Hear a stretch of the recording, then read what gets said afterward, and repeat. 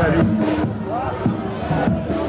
Alors Denis Mars, euh, dis-moi un petit mot là sur la manifestation.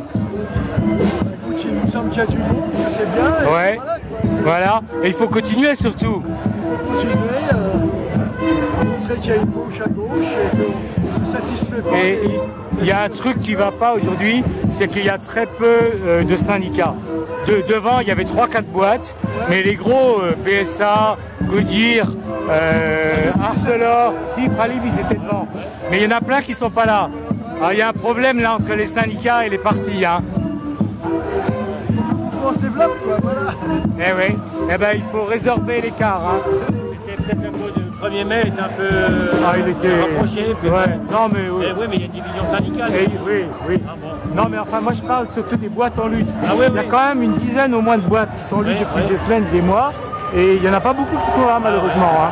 Bon ils ont peur de se faire bouffer par le front de gauche, par Mélenchon. On, les, on peut les comprendre. Hein.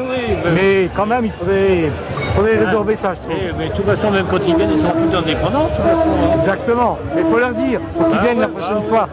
Merci. Mais c'est pas la dernière. hein. Merci. C'est ça pourquoi?